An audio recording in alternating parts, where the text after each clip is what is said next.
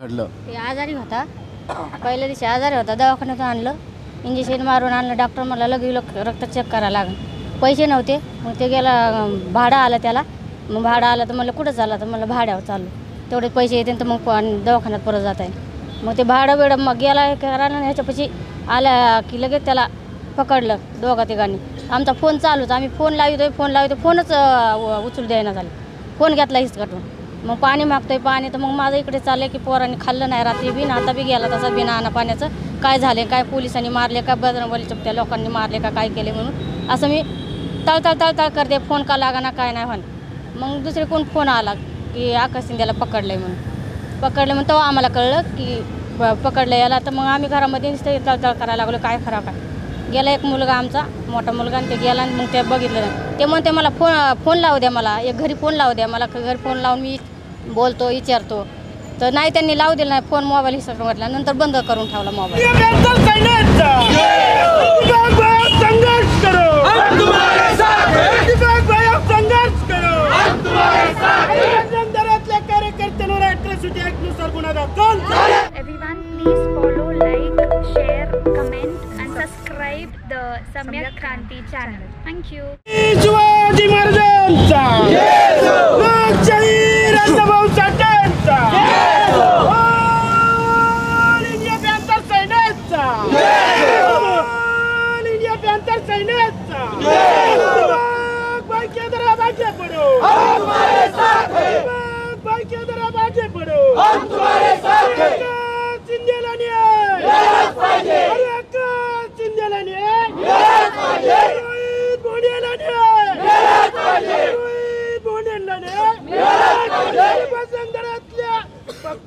कार्यकर्त्यांवर अॅट्रॉसिटी ऍक्टनुसार गुन्हा दाखल.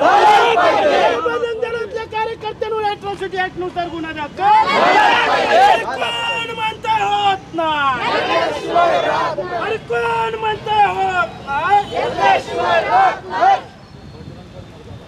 अरे बजरंगदल मुर्दाबाद. मुर्दाबाद मुर्दाबाद अरे बजरंगदल मुर्दाबाद. मुर्दाबाद मुर्दाबाद. अरे बजरंगदल मुर्दाबाद. मुर्दाबाद मुर्दाबाद. जय भीम जय संविधान. आज आपण या ठिकाणी पुणे जिल्हाधिकारी कार्यालयासमोर आहोत आणि या ठिकाणी आकाश शिंदे यांच्यावर हे एक टेम्पो चालक आहे आणि त्यांच्यावर पौड येथे बजरंग दलाच्या काही कार्यकर्त्यांनी हल्ला केलेला आहे. बजरंग दल आपल्या सगळ्यांना माहिती आहे की त्यांना काय कायदा हातात दिला आहे का असा प्रश्न निर्माण झालेला आहे की त्यांनी याच्यावर हल्ला करायचं कारण काय? तर त्या ठिकाणी त्याला न्याय नाही मिळाला.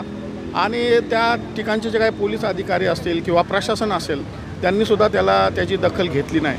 तर आपण जाणून घेवा आकाश शिंदेकडून की नेमकं हे काय प्रकरण आहे काय झालं होतं आकाश काय सांगाल हे प्रकरण काय घडलं आणि कधी घडलं? हे प्रकरण अठरा तारखेचं आहे. हे प्रकरण अठरा तारखेचं आहे. मला फोन आला होता भाड्यासाठी. तर मी बैल घेऊन चाललो होतो. तर मध्ये बजरंग दलाच्या कार्यकर्त्यांनी दोघा तिघांनी गाड्या आवडल्यानंतर त्यांनी ना व नंतर वीस पंचवीस जण आली आणि त्यांनी ना मला पकडलं गा गाडीची चावी घेतली. मला म्हणलं कुठं चाललं? मी त्यांना सांगितलं शेतकऱ्याला द्यायला चाललो आहे तिथून पुढे यांनी आखी गाडी बघितली गाडी बघितली बुद्धांची मूर्ती पाहिल्यानंतर यांनी डायरेक्ट सुरुवात केली मारायला प वीस पंचवीस जणांनी. आणि नंतर मी मी आजारी होतो आदल्या दिवशी. दवाखान्यात पण जाऊन आलो होतो चक्कर बिक्कर होते पा पाणी पित होतो. पाणी पण होऊन घेतलं. पाणी पण नाही पिऊन दिलं त्यांनी. आणि नंतरून त्यांनी पोलिसांना बोलावलं. पोलिसांना पण सांगितलं की नाही का मला मारलेलं आहे त्यांनी. आणि शेतकरी पण आ- आले होते ते पण बोलत होते. पण पोलीस पण पोलिसांनी पण काही ऑब्जेक्शन घेतलं नाही. उलट मला माय गुन्हा दाखल केला आणि मला एक रात्र ठेवलं होतं आतमध्ये. आणि जामीन जामीन दिला मला. तुम्ही हा टेम्पोचा धंदा किती वर्षापासून करताय ट्रान्सपोर्टचा? आणि जे बैल होते ते कोणाचे होते आणि कोणाला द्यायला कुठे चालला? ही बैल बांधासची होती आणि पुढच्याला अ, ह्याला द्यायला चाललो होतो. पवारला द्यायला चाललो होतो. तर अ, शेतकऱ्याची बैल होती आणि अ, मी हा धंदा दीड दोन वर्ष झालं करतोय आणि गाडीवर असतो मी. आणि सगळं मा ग- घरचं बिरचं सगळं ना गाडीवर असतंय.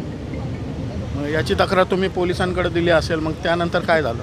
त्यानंतर त्यांनी काहीच द- आ- द- दखल घेतलेली नाही आहे कुठल्याच गोष्टीची. पोलिसांनी? पोलिसांनी कुठलीच द- दखल घेतलेली नाही आहे काय म्हणालो आ? पोलीस म्हणाले काय? पोलीस अ, ते ते म्हणले की चालू आहे आ- आमची तर तक्रार चालू आहे म्हणले. एवढंच चालू आहे फक्त त्यांचं बाकी काय नाही सांगितलं त्यांनी मग त्या बजरंग दलाच्या कार्यकर्त्यांना अटक झाली का? त्यांच्यावर गुन्हा दाखल झाला आहे का? काहीच नाही झालेलं अजून. ते अजून अ, असेच मो मोकट फिरतात. आणि त्यांनी भरपूर मारलेलं मला. या- याच्यानंतर त्याच्या त्या बजरंग दलाच्या कार्यकर्त्याकडून तुम्हाला काय धोका आहे का किंवा काय? हा तर ते आहे ती. कारण अ, ते गुंड प्रवृत्तीचे दिसतात पण आणि होते पण तसेच. कारण दोघा जणांनी अ, एक फोन करून जर वीस पंचवीस जण बोलावले तर नंतरून धो धोका आहेच ना. पौड या ठिकाणी बजरंग दलाच्या ज्या कार्यकर्त्यांनी आकाश शिंदेला मारहाण अमानुषपणे मारहाण केली त्याची आई या ठिकाणी आहे. तर अ, मावशी काय झालं नेमकं? अ, तुमचा मुलगा काय करतो आणि त्याच्यासोबत काय घडलं? ते आजारी होता. पहिल्या दिवशी आजारी होता दवाखान्यातून आणलं इंजेक्शन मारून आणलं डॉक्टर मला लग रक्त चेक करायला लागलं. पैसे नव्हते मग ते गेला भाडं आलं त्याला. मग भाडं आलं तर मला कुठं झालं तर मला भाड्यावर चालू तेवढे पैसे येते तर मग आणि दवाखान्यात परत जात आहे मग ते भाडं बिडं मग गेला करायला ह्याच्यापाशी आल्या की लगेच त्याला पकडलं दोघा तिघांनी. आमचा फोन चालूच आम्ही फोन लावतोय फोन लावतोय फोनच उचलू द्यायना झाले. फोन घेतला हिसकटून. मग पाणी मागतोय पाणी. तर मग माझं इकडे चाललंय की पोरांनी खाल्लं नाही रात्री बिन आता बी गेला तसा बिना आणा पाण्याचं. काय झाले काय पोलिसांनी मारले का बजरंगबलीच्या त्या लोकांनी मारले का काय केले म्हणून. असं मी तळतळ तळतळ करते फोन का लागाना काय नाही म्हण. मग दुसरे कोण फोन आला की आकाश शिंदेला पकडलंय म्हणून. पकडलं म्हणून तेव्हा आम्हाला कळलं की प- पकडलं याला. तर मग आम्ही घरामध्ये नुसतं तळतळ करायला लागलो काय खरा काय गेला एक मुलगा आमचा मोठा मुलगा आणि ते गेला आणि मग ते बघितलं. ते म्हणते मला फोन फोन लावू द्या मला एक घरी फोन लावू द्या मला घरी फोन लावून मी बोलतो विचारतो. तर नाही त्यांनी लावू दिला नाही फोन मोबाईल हिसकून म्हटला नंतर बंद करून ठेवला मोबाईल. पोलिसांनी काय कारवाई केली? काही के- त्यांनी दक्षताच नाही घेतली पोलिसांनी. ते आणि त्याला एक दिवस रात्र ठेवलं आतमध्ये आणि ते हे करून शनी जामीन करून सोडवलं त्याला. गाडी अजून आतमध्येच आहे गाडी नाही सोडवली. मुलाचा स्वभाव कसा आहे? मुलाचा स्वभाव म्हणजे एक- एकदम छानपैकी म्हणजे असं एक क- उद्धतवाणी बोलणं नाही चालणं नाही असं काय नाही. तुमची व्यवस्थित काय आहे. मागणी काय आहे? मग आमची मागणी अट्रॉसिटी झाली पाहिजे. आणि आम्हाला हे न्याय मिळाला पाहिजे. भाई काय सांगाल? हे प्रकरण अतिशय गंभीर दिसतंय. आणि पुणे पुण्यासारख्या शहरामध्ये असं जर होत असेल तर अतिशय गंभीर बाब आहे कारण पुणे हे सांस्कृतिक शहर आहे आय टी हब आहे आणि अ, पुण्याला एक डिफेन्सचा पण एक मोठा अ, क्षेत्र आहे. तर अशा ठिकाणी या जर घटना घडत असेल तर आपण काय सांगाल याबद्दल? पोलिसांनी सुद्धा हलगर्जीपणा केलेला दिसून येतो संतापजनक आहे आणि महाराष्ट्राला हादरून टाकणार आहे. जज स्वतः म्हणाले जामीन देताना आकाश शिंदेला की याच्या चेहऱ्याकडं बघून हा बैल कापायला चालला असं वाटतंय का? साहजिकच आहे आपण सगळ्यांनी जरी आकाश शिंदेच्या चेहऱ्याकडे बघितलं तर तो खरंच बैल कापू शकतो का? पण केवळ या ठिकाणी जाणीवपूर्वक दहशत निर्माण करण्यासाठी आणि धार्मिक दंगली सामाजिक सलोखा बिघडवण्यासाठी सुनियोजितपणे कट करून ही घटना घडवण्यात आलेली आहे. आजवर जे झालं ते झालं. पण बौद्ध तरुणावरती आरोप. सगळ्या अनेक केसेस फेक आहेत आम्ही जाऊ दिलं. पण आमचा बौद्ध तरुण त्याला ताप आहे तो आजारी आहे घरामध्ये आजारी लोक आहेत. आणि त्या त्याला नोकरी दिली का सरकारने? त्याला त्या ठिकाणी बेरोजगारीचं सर्टिफिकेट देऊन दहा हजार रुपये भत्ता दिला का महिन्याला? त्याला काम केल्याशिवाय पर्याय आहे का? त्याला भाडं जर त्यांनी गाडी चालवली नाही तर त्याचं कुटुंब चालू शकत नाही. तो लहान लेकरांचा घरातल्या आईबापांचा इलाज करू शकत नाही. या आकाश शिंदेचे वडिलांना एक पाय नाही आहे ते अपंग आहेत. शंभर टक्के अपंग आहेत. त्याला वाटलं काम केलं तर दवाखान्यात लोकांना नेता येईल. त्या समोरच्या भानुदासचे बैल पवारला द्यायचेत याच्यात तस्करीचा संबंध काय? काय संबंध आहे तस्करीचा? काय करायला निघाले ते? कोण आहे त्याच्यामध्ये? कसाही कशावरून तुम्ही खाटी समजताय कुणाला पण? आणि हे जे अटक करणार आहेत जे मारहाण करणार आहेत ते सरकारचे जावं आहेत का? देवेंद्र फडणवीसांना आव्हान आहे जर तुम्हाला बजरंग दलांच्या गुंड्यांना रोजगार द्यायचा असेल तर तुम्ही तुमच्या घरी ठेवा. नोकऱ्या द्या पगार द्या. पण रस्त्यावरती असा जर धुमाकूळ घालून आमच्या समाजाला तरुणांना रस्त्यावर बुद्धाची मूर्ती गाडीत बघून जर मारत असाल तर हे खपून घेणार नाही. पोलीस यंत्रणेमध्ये धार्मिक पोलीस काही घुसलेले आहेत. प्रत्येक पोलीस स्टेशनमध्ये मी राज्यभर बघतोय. यांचा जो देव देश आणि धर्माचा अजेंडा आहे ते चालवण्यासाठी काही कर्मचारी मी सगळे म्हणत नाही काही कर्मचारी प्लॅन करण्यात आलेले आहेत. आणि त्यांच्याकडे हे स्पेशल खातं दिलंय की या बजरंग दलाचा त्या भिडेच्या कार्यकर्त्याचा त्या गोरक्षेच्या नावाखालच्या कार्यकर्त्याचा फोन आला की तू जाऊन देव आणि देश आणि धर्माचा अजेंडा राबव. कसली चौकशी करू नको. अरे शिंदे कुठं बैल कापणार आहे का? त्याचा चेहरा बघा बेरोजगार आहे भीतीने घाबरलेला आहे, आत्महत्या करेल. कोण जबाबदार आहे? काय करायला निघालं राज्य सरकार? कोणतं कार्ड दिलंय तुम्ही त्या कार्यकर्त्याला? शासनातल्या कोणत्या पदावरती ते नोकरीला आहेत? पोलिसांना दमदाटी करून ते गुन्हे कसं काय दाखल करून घेतात? काय आधार दिला त्यांनी शासनाने त्यांना? हा प्रश्न या ठिकाणी विचारायला मी आलोय. गंभीर आहे. असं जर होत राहिलं तर बेरोजगार उद्ध्वस्त होऊन जातील. धडाधड मारू लागले. या ठिकाणी मुस्लिम समाजाचा एक तरुण परवाच मी ग- कालच मी श्रीगोंद्याहून आलो तिथंही तेच प्रकार आहे. त्या ठिकाणी लासलगावला जाऊन आलो तिथं तर तीनशे दोन घडवलं. पंधरा दिवसात त्या मारणाऱ्याला जामीन झाली. तीनशे दोनमध्ये मा पंधरा दिवस आणि महिन्यात जामीन होते. हे सगळं सुनियोजितपणे आम्हाला उद्ध्वस्त करण्याचं कट कारस्थान या ठिकाणी रचलेलं आहे. म्हणून आमची भूमिका आहे की हे गुंड आहेत आज याच्यावर आरोप लावला की पशु अत्याचार केला. मग आम्हाला बी कायदा कळतो आम्हीही कार्यकर्ते आहेत. का कायदा का तुम्हालाच कळतो का? कायदाच आमच्या बापाने लिहिलेला आहे. आणि या ठिकाणी जाणीवपूर्वक खोटे आरोप लावलेत. पोड तालुक्यामध्ये कुठंही कत्तलखाना नाही. मी या माध्यमातून पोलीस अधीक्षकांना आव्हान करतोय जिल्हा अधिकाऱ्यांना आव्हान करतोय गृहमंत्र्यांना आव्हान करतोय. की हा अन्याय अत्याचार तुम्ही ओळखला पाहिजे. पौड तालुक्यात कुठंही कत्तलखाना नाही. पौड तालुक्याच्या बाहेर जर बैल गेले असते तर शहराच्या पोलिसांनी जर धरले असते तर तो वेगळा भाग होता. पण बैल गेलेत कुठं? पाच किलोमीटर अंतरावर. म्हणजे तुम्ही कोट्यावरच लक्ष ठेवून आहेत लोकांच्या. कत्तलखानाच्या परिसरात आल्यावर शहर पोलीस अटक करतील ना. तुम्ही तुमच्या तालुक्यात कत्तलखाना नसताना त्यांना अटक कसं काय करू शकता?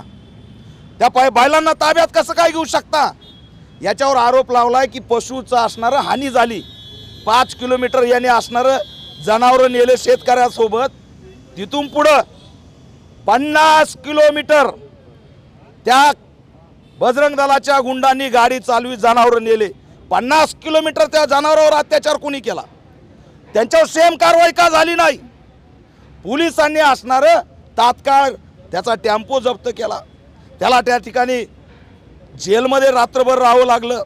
आयुष्यात एकही एन सी नसलेला आयुष्यात कसलाही गुन्हा नसलेला निरागस असणारा आमचा बौद्ध समाजाचा आकाश शिंदे त्याचं आयुष्य यांनी बर्बाद करून टाकलं क्रिम क्रिमिनल रेकॉर्ड करून टाकलं त्याला बैल कापणारं करून टाकलं. ही असणारी यंत्रणेची अक्कल आहे. ही असणारं यंत्रणा अशी चालणार आहे. आणि म्हणून माझा थेट आरोप आहे ब्राह्मणवाद्यांचा मनुवाद्यांचा देव देश आणि धर्म सनातन्यांचा अजेंडा राबवणारी एक टीम प्रत्येक पोलीस स्टेशनमध्ये इथं प्लॅन झालेली आहे. आणि ती असणारी या यंत्रणेतून हाकलून दिली पाहिजे. अन्यथा यंत्रणा बदनाम झाल्याशिवाय राहणार नाही. ज्यांनी फिर्याद दिली ज्यांनी या ठिकाणी त्या आमच्या आकाश शिंदेवरती गुन्हा दाखल केलाय त्याला आणि पोलीस स्टेशनच्या त्या प्रमुखाला तात्काळ सस्पेंड झालं पाहिजे निलंबित झालं पाहिजे.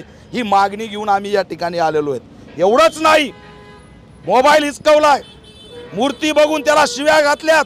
आणि मारहाण सुद्धा बजरंग दलाच्या कार त्या गुंडांनी केलेली आहे. त्याच्यामुळे त्यांना मूर्ती बघून हे माहीत होतं की हा बौद्ध आहे अनुसूचित जातीचा आहे. त्यामुळे जाणीवपूर्वक जास्त मारलं. याचा इंटेन्शन डायरेक्ट आहे. ॲट्रॉसिटी ॲक्टचा गुन्हा त्या ठिकाणी दाखल झाला पाहिजे. आणि पौड भागात आम्ही बघतोय. मुळशी भागामध्ये आम्ही बघतोय. हा जो कर्मट संघटनेचा सुळसुळाट तिथं निर्माण झाला आहे काही एका गेल्या आठवड्यातच शेतकऱ्याच्या लेकराला पाय गमावा लागलेला आहे. तीनशे सात सारखा गुन्हा त्या ठिकाणी या संघटनेच्या लोकाकून झालेला आहे. त्याच्यामुळे मुळशी पुणे आणि महाराष्ट्रातून या संघटनेवरती बॅन आलं पाहिजे. यांना दंगलखोर समाजकंटकीय संघटना म्हणून घोषित करून राज्याला सुरक्षित केलं पाहिजे. ही सुद्धा आमची भूमिका आहे. त्या गुंडावर ॲट्रॉसिटीचा गुन्हा आणि या पोलीस अधिकाऱ्यांवरती जे जे होते त्याची सखोल चौकशी पोलीस अधीक्षकांनी करावी. जजनी झापलंय पोलिसांना की हा कसाही वाटतो का? हा कापणारा वाटतो का? राज्यभर गोरक्षणाच्या नावाखाली अनेक प्रकार घडतायत. त्यासाठी सुद्धा शासनाने दखल घ्यावी. जेवढा जेवढा या ठिकाणी आम्ही हे समजतोय वाळू माफिया. वाळू पकडायला का जात नाहीत हे कार्यकर्ते? दारू पकडायला का जात नाहीत हे कार्यकर्ते? गुटखा पकडायला का जात नाहीत हे कार्यकर्ते? जिथं मुस्लिमांचा बौद्धांचा सहभाग असेल तिथं जाणीवपूर्वक असणारं आपली भूमिका बजून धर्मट कर्मट करण्याचं आणि दंगली भडकवण्याचं काम या माध्यमातून या ठिकाणी सुरू आहे. व्यापक मागण्या घेऊन आम्ही जवळपास तीस मागण्या वीस मागण्याच्या आसपास मागण्या घेऊन आम्ही आलेलो आहेत.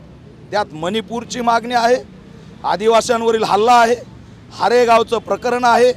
पानगाव मान साताऱ्यात भर चौकात महिलेला नग्न त्या ठिकाणी मारहाण झाली. बेदम मारहाण झाली. ते प्रकरण आहे. अनेक कार्यकर्त्यांवर राज्यभर हल्ले झाले. ते प्रकरण आहे. परभणी जिल्ह्यातले सुद्धा दोन प्रकरण आहेत. एवढंच नाही काल पुन्हा राजस्थानमध्ये बारा जणांनी मिळून एका आदिवासी महिलेला नग्न केलेलं आहे. आणि तिचासुद्धा व्हिडिओ सोशल मीडियात व्हायरल होतो आहे लघवी केली जाते तोंडावरती. थुकलं जातंय उलटं टांगलं जातंय. त्यामुळे या देशातला अनुसूचित जातीचा समूह धोक्यात आलेला आहे. त्याचं अस्तित्व धोक्यात आलेलं आहे. आणि हे गंभीर आहे असं असणारं या माध्यमातून जाहीर करतो. आणि मी या सरकारचा धिक्कार करतो. कायदा व सुव्यवस्थेचा प्रश्न गंभीर झालेला आहे. त्या ठिकाणी गृहमंत्री देवेंद्र फडणवीस यांनी तात्काळ राजीनामा द्यावा. मराठा आंदोलकांवरती सुद्धा हल्ले झालेले आहेत. लाठीचार झालेला आहे. त्यात आया बहिणींचे डोके फुटलेले आहेत. त्याचा सुद्धा आम्ही आज निषेध केलेला आहे. आणि जे हल्ले करणार आहेत ते फक्त पोलीस आहेत. पोलीस आणि आंदोलक यांच्यात भांडणं लावले जात आहेत. पण यांचा मेन मुख्य सूत्रधार ब्राह्मणवादी आहे. आणि त्या मुख्य स- सूत्रधारावरती तीनशे सातचा गुन्हा दाखल झाला पाहिजे. ही सुद्धा आमची या ठिकाणी मागणी आहे. डॉक्टर बाबासाहेब आंबेडकरांचा.